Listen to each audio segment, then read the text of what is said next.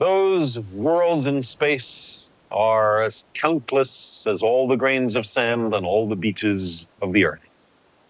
Each of those worlds is as real as ours. In every one of them, there's a succession of incidents, events, occurrences which influence its future. Countless worlds, numberless moments, an immensity of space and time. And our small planet, at this moment, here we face a critical branch point in history.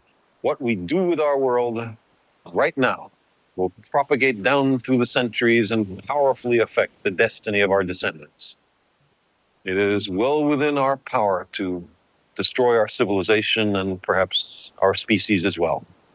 If we capitulate to superstition or greed or stupidity, we can plunge our world into a darkness deeper than the time between the collapse of classical civilization and the Italian Renaissance. But we are also capable of using our compassion and our intelligence, our technology and our wealth to make an abundant and meaningful life for every inhabitant of this planet, to enhance enormously our understanding of the universe, and to carry us to the stars.